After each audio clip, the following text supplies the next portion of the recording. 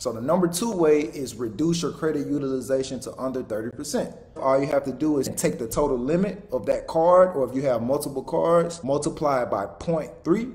That's going to give you what 30% is, and you get the balances under that 30%, and your credit score will dramatically increase within 30 days. Take the total limit of all of your credit cards, right? Not the balance, the limit, the max amount that you can spend on that credit card.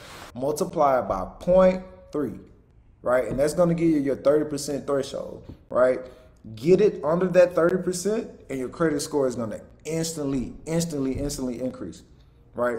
Super easy, right? If you have a thousand dollar credit card, right, and you've used five, you've used five hundred dollars on it, right? You take that thousand dollar limit, you multiply it by 0.3, that will give you 300 bucks.